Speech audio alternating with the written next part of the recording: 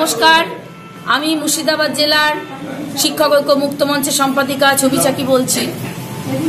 আর সবচেয়ে একটা দুঃখের কারণ, আমাদের রাজ্যের রাজ্য শিক্ষক ঐক্য মুক্ত মঞ্চের রাজ্য সম্পাদক মহিদুল ইসলামের ওপর ব্যক্তি সুভাষ মুখার্জি যেভাবে একটা অনুষ্ঠানে তাকে ইনভাইট করেছিল সেই অনুষ্ঠানে তাকে বক্তব্য রাখার জন্য।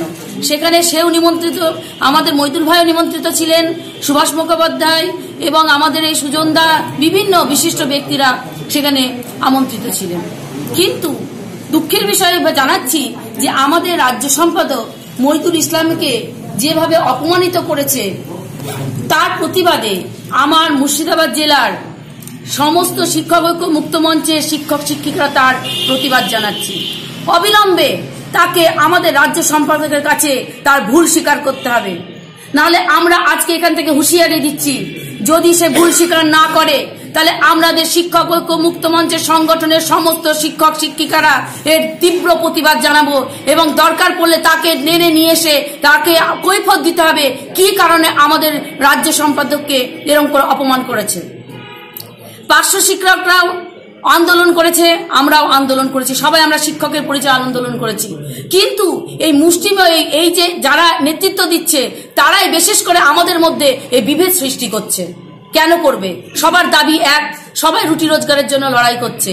কিন্তু আজ কেন আমাদের মধ্যে এই যে অনেকেই বলছে যে আমাদের রাজ্যের সম্পাদক মহিদুল ইসলাম প্রচুর টাকা সংগ্রহ করে মেরেছে, তার প্রমাণ কি আছে তাকে দিতে হবে? অন্য সংগঠন কোথায় কি টাকা তুলছে?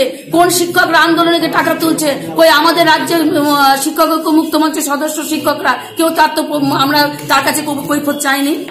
তাই জন্য আমি বলছি, সবচেয়ে আমার একটা বিষয় লাগে। আমরা যখন সাতসাধ্য চোদ্দ দিন ধর্ণা মঞ্চ করেছি, তখন এই সুভাষ মুখার্জি আমাদের পাশে থেকে লড়াই করেছেন। আজ তার কি হলো যে আমাদের প্রতিবাদ জানাচ্ছেন কেন? সবচেয়ে অবাক লাগছে যে আজ সুজন চক্রবর্তী যে আমাদের মাননীয় সুজন চক্রবর্তী মহাশয় আজ মৈদুল ভাইকে কত স্নেহ করেন, কত ভালোবাসেন।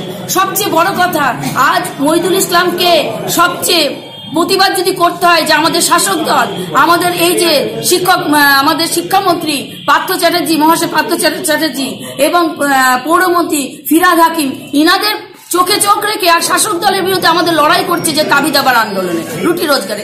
দরকার পড়লে তারা হয়তো দুটো বাজে কথা বা তাকে অন্যরকম কথা বলতে পারেন। কিন্তু আমি দেখেছি, আমরা যখন তারা দাবি দাবা নিয়ে তাদের কাছে গিয়েছি, কত সময় হয়ে আজ মহিদুল ভাইয়ের সঙ্গে কথা বলেছেন। সে তো শিক্ষামন্ত্রী এবং পৌরমন্ত্রী।